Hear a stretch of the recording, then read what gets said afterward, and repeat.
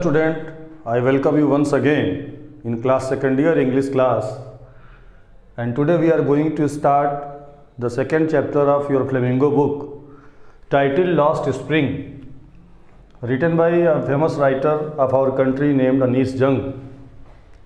Anis Jung was born in Raurkela but she has passed so many years of her life in Hyderabad and she got education there also Later on, she went to United States of America. There she got later part of higher education and started her career as a writer. This story, Lost Spring, is the real feeling of Anis Jung, which she had experienced, and she had described here very beautifully in two parts.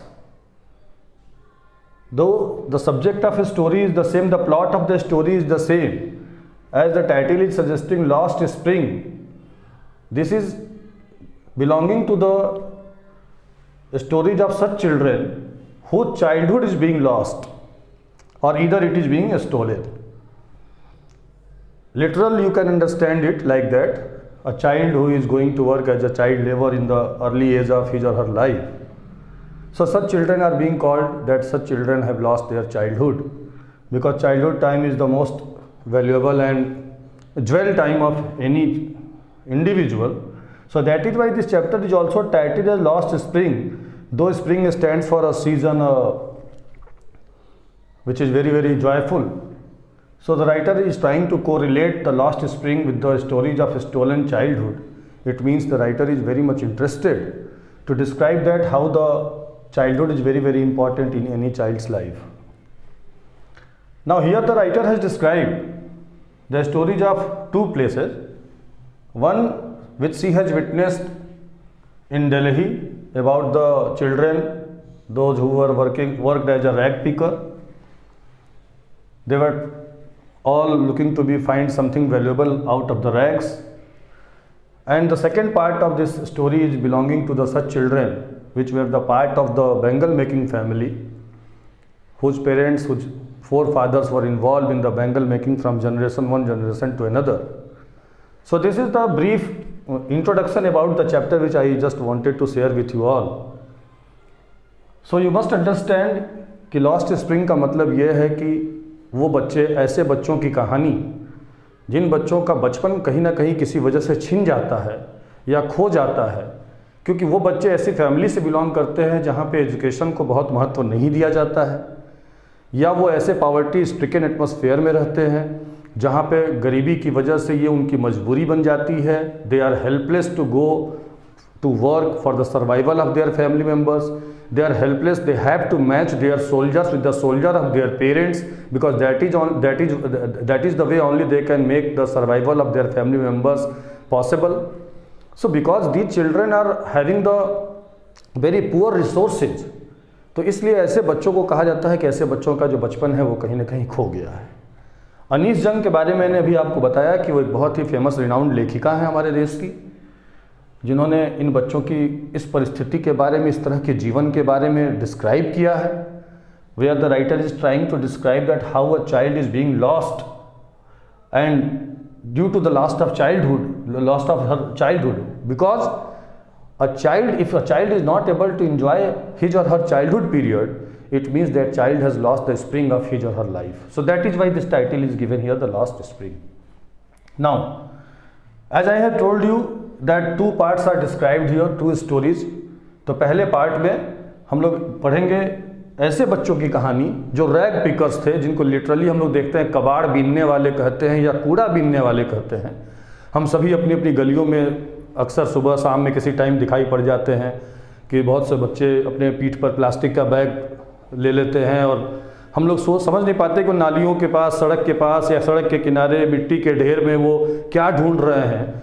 Exactly we are not able to understand but हकीकत ये होता है कि जिनको हम rag pickers कहते हैं they are not picking the rags they are picking something valuable out of the heap of the garbages कूड़ों के ढेर में से वो कूड़ा नहीं उठाते एग्जैक्टली वो उसमें से वो चीज़ें उठाते हैं जिनकी कोई वैल्यू होती है, जिनका कोई वर्दीनेस होता है। क्योंकि कई बार इस तरह के रैक्स में या गार्बेजेस में कुछ ऐसी चीज़ें भी सड़क पे दिखाई पड़ जाती हैं, चाहे वो आयरन हो, चाहे कई बार सिक्का हो या रुपया भी गिरा मिल जाता है। इसीलिए इसकी टाइटल दी गई है पहले वाले की, पहले इस पार्ट की। Sometimes I find a rupee note in the garbage what does it mean it means this story belongs to such children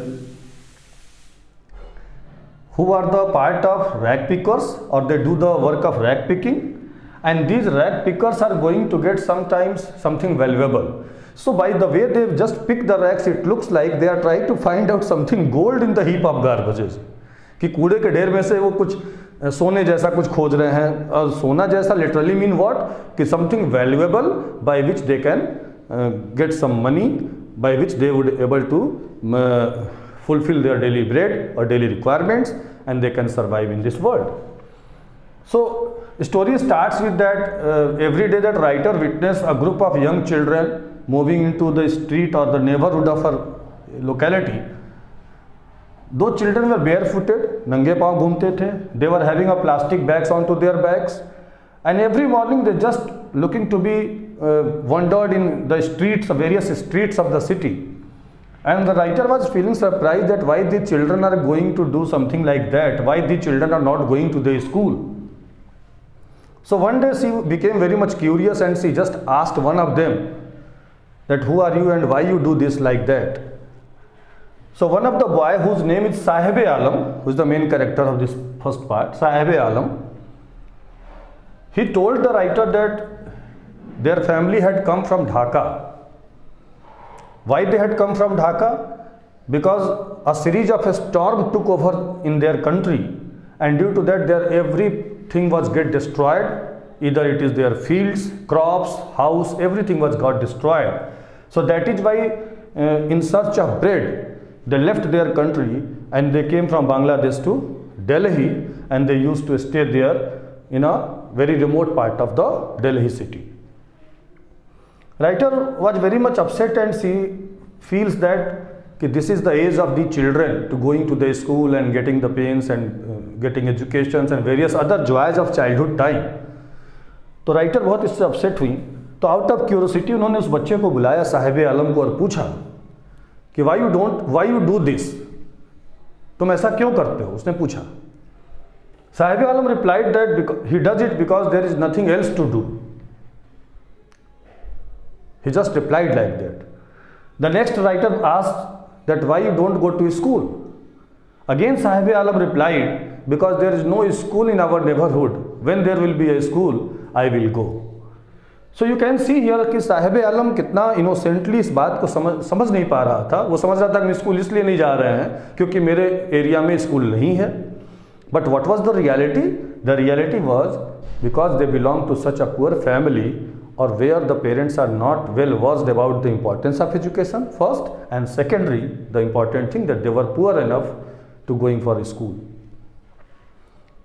writer ne just like a fun writer ne pucha ki if i open a school i start a school will you come sahib alam looking to be smiled broadly wo hasne laga और कहा yes madam when you will open i will certainly come to the school this way this first meeting or second meeting was took place with the writer and the group of children. After a few days later, a, a few days later, Sahib Alam came to the writer again and he just asked to the writer that, Madam, is your school ready? Now the writer was very much surprised because she had made a promise which she did not mean. She had just said that she will open a school, it was just in a fun. She had not taken it very seriously. But at the other hand, that why Sahib Alam has taken it very seriously. And after a few days, he came again, he came back to the writer and asked that whether your school is ready. So this, this incident uh, made the writer feel a little embarrassed. The writer felt embarrassment because she has made a promise which she did not mean it. It means she has not completed her, her promise. So out of her embarrassment, she just said, no, no, I have not opened the school because it takes time before opening a school. Writer was feeling embarrassed it means writer को बड़ा ही embarrassment feel हुआ। थोड़ी सी शर्मिंदगी feel हुई थोड़ी सी नर्वसनेस फील हुई। क्यों नर्वसनेस फील हुई? क्योंकि उसने एक प्रॉमिस तो किया कि हम स्कूल खोलेंगे तो तुम पढ़ने आओगे। बट उसने उसको गंभीरता से नहीं लिया। उसने सोचा कि हम तो बच्चों से बस बचपना में पूछ लिया उन्होंने। बट वो बच्चा कितना सीरियस था कि कुछ दिनों के बाद वो लौट करके आया और उन्होंने, उसने उससे पूछा कि, मैडम, आपका स्कूल तैयार हो गया? और इस इंसिडेंट ने राइटर को बहुत ही गंभीरता से इस बात पे सोचने को मजबूर किया। तो उसने कहा कि no no I have not opened as I have told you but she was just thinking about it there are so many promise which are made in to the world of the children who use to live in their bleak world a word is mention here bleak bleak means gloomy dark what I mean to say exactly what the writer mean to say कि इन बच्चों के जीवन में promise का महत्व क्या है? बहुत से लोग प्रॉमिस इनसे करते हैं, लेकिन इनकी प्रॉमिस उन, वो लोग अपनी प्रॉमिस पूरा नहीं करते। और इसीलिए तो आज तक वो उस डार्क वर्ल्ड में ही रह रहे हैं। उनके लाइफ में कोई चेंज नहीं आया। तो इसलिए राइटर ने अपने आप को कंसोल करने के लिए, समझाने के लिए ये कह तो लिया but really she felt a little embarrassed so this way writer every day use to encounter an army of young boys young children who used to roam on the various street of Delhi in barefoot. नंगे पाँव बच्चे daily सुबह सुबह दिखाई पड़ते थे। एक दिन राइटर ने उसमें से बच्चे को बुलाया, पूछा what is your name the boy replied Saheb Alam. Saheb Alam he told it कि, मैडम, मेरा नाम साहेब आलम है।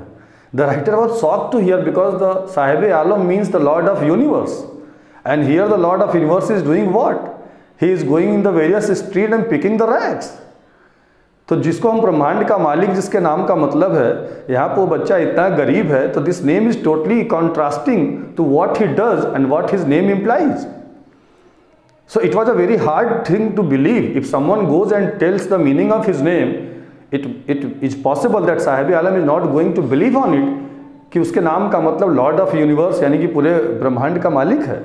क्योंकि यहाँ पर वो लॉर्ड ऑफ़ यूनिवर्स कर क्या रहा है? घूम घूम करके कूड़ा बीनने में से, कूड़े में से कुछ वैल्यूएबल ढूंढ रहा है अपने सर्वाइवल के लिए। So this is the way it was hard to believe for Saheb Alam to believe the meaning of his name this is very very important and it is being asked in the board examination also So every day writer used to see these children were in the morning and they appeared into the streets like early bird and go back to their houses before noon. So it was a routine for these children every day. So one day she just used to ask that uh, that why you don't wear the chappal. उसने उन बच्चों से पूछा कि तुम चप्पल क्यों नहीं पहनते? The second child replied that because the mother has not given कि मम्मी ने मेरे चप्पल पहनने को नहीं दिए हैं। इट मीन्स दैट वो बताना चाहता था कि उसकी माँ चप्पल नहीं देती है पहनने को। क्यों? क्योंकि if she gives us we are going to throw it away because we are not use to wearing the chappals क्योंकि हमें चप्पल पहनने की आदत भी नहीं है। अगर दे भी दिया जाए तो हम उसको कैरी नहीं कर पाते। राइटर ने सोचा कि it is very common to see in various part of the country the people use to roam on the streets without chappals और विदाउट स्लीपर्स और without shoes but it is not only one excuse that they have the lack of money there are various other things some some places it is their tradition to move barefooted. If a beggar is having a shoe, no one going to give any begging to him. So what I mean to say, writer ने क्या बताया कि अगर ये बच्चे नंगे पाँव घूम रहे थे तो सिर्फ़ यही फैक्टर रिस्पॉन्सिबल नहीं था कि वो बहुत गरीब थे या उनके पास पैसे नहीं थे बल्कि कई बार ये एक परंपरा भी हो जाती है because by moving on on the road bare foot they show the their poverty they want to show their poverty And in this reference, the writer has mentioned a story of a place, Udupi, where there was a priest and his son used to stay in a temple. And every day the priest's son goes to the goddess of temple and pray, Ki, oh ma, bless me with a pair of shoes. After 30 years, when the writer visited the same temple, she found the temple was lost in the air of desolation. It means मंदिर जो था लगभग खंडहर बन चुका था 30 साल के बाद अब वहाँ नया पृष्ठ आ गया था उस पृष्ठ का लड़का स्कूल जाता था, इस ग्रे यूनिफॉर्म में था, उसने शूज़ और सॉक्स भी पहन रखे थे। लेकिन 30 साल पहले का जो पुजारी था, जो पृष्ठ था, उसका जो बेटा था he always use to go to pray the goddess bless him with a pair of shoes why because he was not having a pair of shoes to go to the school later on in that story the writer has mentioned that finally when that boy had got a pair of shoes he again went to the goddess of the temple and said thank you very much and let them never lose it उसने माता, उसने goddess को धन्यवाद किया, भगवान को धन्यवाद किया और ये प्रे किया कि प्रभु मेरे ये जूते फिर कहीं खो ना दें, खो ना जाए।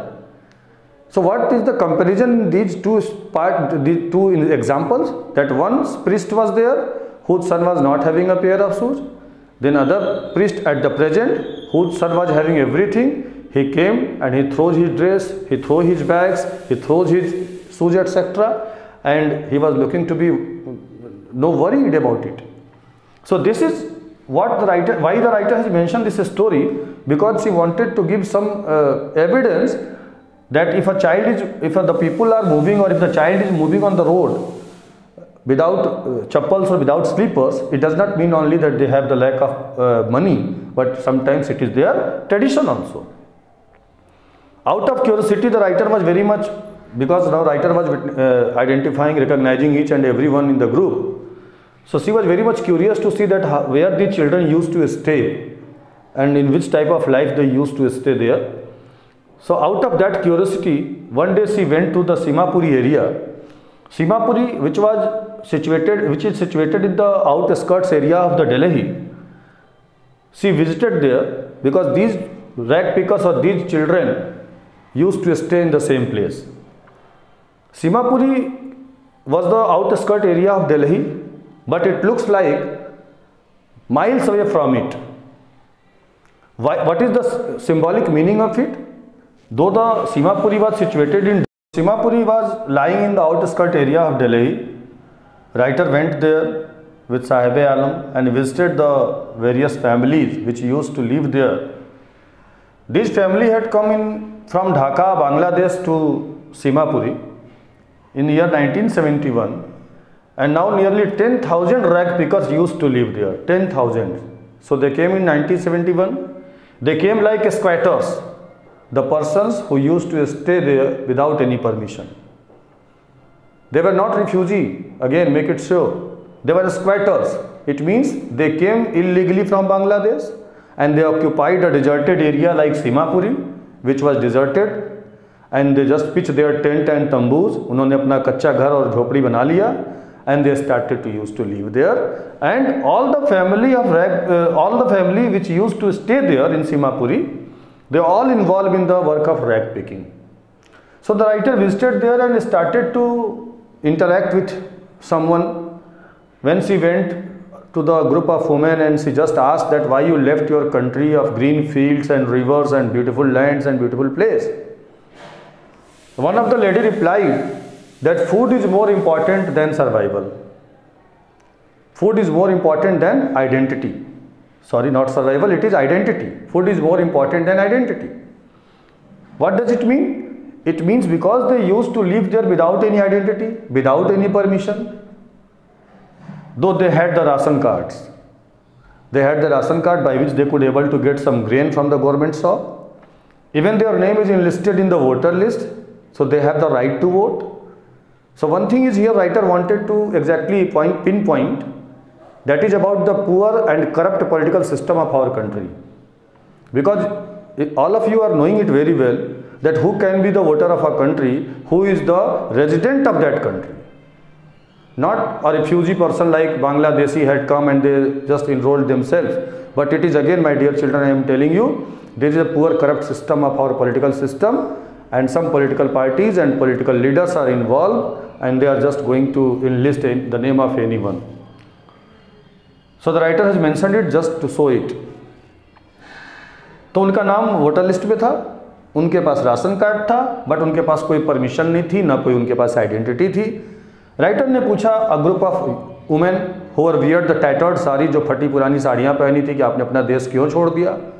उन्होंने कहा madam food is more important than identity because if the end of the day we are able to go on the bed without aching stomach we prefer to live here rather to that place और that field which give us no grain तो उन्होंने reply क्या किया? उन्होंने reply ये किया कि हम यहाँ पे रहना ज़्यादा प्रेफर करेंगे, क्योंकि यहाँ पे कम से कम डेली शाम को हमारे पास रोटी और ब्रेड मिल जाता है जिससे हम सर्वाइव कर पा रहे हैं। तो वहाँ पे रहने का कोई मतलब नहीं जहाँ पे हमें खाने भरपेट खाने तक का भी अनाज प्राप्त नहीं होता। So everyone in that family was belonging to the work of rag picker the child who are grown up they have also become the partner of their fathers, their parents in their survival because they also used to go for the rag picking every day. So all the people of Simapuri has did the same work. What work they have done? They all involved in the work of rag picking. So that is why this area is famous and it has taken as a proportion of fine art. It is written here proportion of a fine art. इसका मतलब ये है बेटा बच्चों कि इसका मतलब ये है चिल्ड्रन कि वो ये बताना चाहते हैं कि चूँकि सीमापुरी के सारे लोग यही काम करते थे तो वो एरिया का एक तरह से वो कल्चर वहाँ बन गया था, ये उसने एक फाइन आर्ट का शेप ले लिया था। It means that area was recognise for the people who are rag pickers if someone tells takes the name of Seemapuri it means the people who are rag pickers use them is gold why garbage to them is gold because it is their daily bread it इज़ a roof over their head. Though it is leaking, because they used to live in the tents and roof of tarpaulin और something like thatch the roof फूस की बनी हुई या मोटे कपड़े की बनी हुई त्रिपाल जिसको कहते हैं तो though it was a leaking roof but whatever the bread and roof they were getting it was just because of the work of rag picking so garbage to them is just like a gold because it provides them their daily bread and a roof over their heads so Alam and other uh, children were very much excited every day because sometimes they get one rupees note, out of the garbage. Sometimes they get even the 10 rupees note, sometimes get some coins. So there was always a possibility or there was always a chance to get something more in the garbage and this hope never stopped them to scrounging more and more. Scrounging means to try to find out, kuch dhoondna, kuch talasna. So as these children used to get sometime a 10 rupees note, sometime the silver coins. So it is a kind of fun for the children. They don't know that it is a it is a means of survival for them. So they have the different meaning for rag picking. For the elders, rag picking is the means of survival. But for the children, it is something which is wrapped in wonder. So what I mean by saying wrapped in wonder, it means because they go for the garbage and they give they get what? They get something valuable, like sometime one rupees note, sometime ten rupees note, and sometimes something more valuable than that. See, it is just like a game. These innocent children, even not knowing that why they are doing it and why it is essential for their survival, because they just take it as a game, as a fun, as a uh, play. So they were they were not knowing the meaning of survival. So this this is the way they used to pass their time. So one winter morning again the author finds that Sahib Alam was standing out of a boundary wall and he watching inside the boundary where the two persons were in white dress and they were used to play a, they were playing a game of tennis. The way the Sahibi Alam was looking to them, it looks that Sahibi Alam was very much willing to play that game. But he was feeling satisfied only to watch it. Why? Because this game was out of his reach. That day Sahibi Alam was also wearing a tennis shoes which was not matching with his shorts and shirt. When the writer, writer saw it, she just called Sahibi Alam and asked about those shoes. For a while, Sahibi Alam was a little embarrassed, but later on he just explained that a rich boy has discarded those shoes to wear because one of the shoes was having the hole. Sahib Alam ने बताया कि ये किसी अमीर लड़के ने उसको दिया है क्योंकि वो अब इन जूतों को नहीं पहनता है क्यों नहीं पहनता है क्योंकि उन जूतों में एक जूते के नीचे एक होल हो गया था एक छेद या सुराख हो गई थी But it was not a matter for a boy like Sahib Alam who have never owned a pair of shoes in his own whole life. It is not less than a dream come true for Sahib Alam because that tennis shoes were very much expensive. So even the shoes with a hole is not bothered him and it is not less than a dream come true. Another day the writer saw that Sahib Alam was having a canister on his back and he was going towards the uh, a milk booth. That day the writer called him and asked that where you are going right now.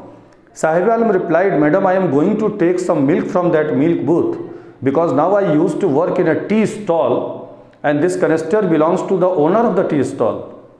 Further, Sahib Alam also told her that there he gets his meals and 800 rupees monthly as a salary. So he just told this all to the writer and writer asked him, asked him that whether now are you happy with this job? And when she asked this question, Sahib Alam lost his carefree look. Carefree look मतलब उन्मुक्त होना स्वतंत्र दिखाई पड़ना बेपरवाह होना तो साहिब आलम भले ही rag पीकर था लेकिन वो एकदम फ्री था घूमता था जब तक मन करता था वो गलियों में घूमता था कहीं बैठ जाता था किसी से बात कर लेता था But when this time writer asked her that whether you like this job, Sahib Alam became serious. He lost his carefree look and he became very serious. Which shows what? Which shows that Sahib Alam was not looking to be happy with that job. Why? Because Sahib Alam is no longer his own master. Sahib Alam is no longer his own master what does it mean it means that कि अब साहिब आलम अपना खुद का मालिक भी नहीं रह गया था। Why because now he works on a tea stall so he has to follow each and every thing as the owner is instructed to him finally this uh, first part of the chapter concluded with the line that sahib alam was no longer his own master. It means what? That it is more painful for the Sahib Alam's life. Earlier he was used to enjoy his rag picker's life, but now as he used to work on a tea stall where he has to follow the order of the owner of the tea stall, so he has lost the control over himself as he has to follow all the orders of the owner of the tea stall. So he was no longer his own master. So this is the first part which I have discussed with you children right now. And the second part of this chapter, Lost Spring, that is the story of the children belongs to the Bengal making family, Bengal maker family. It will be uh, given to you in the next video. It will send to you in the next video. Meanwhile, you just go through the chapter with NCERT books and any problem, you just send it in the comment box. Thank you very much.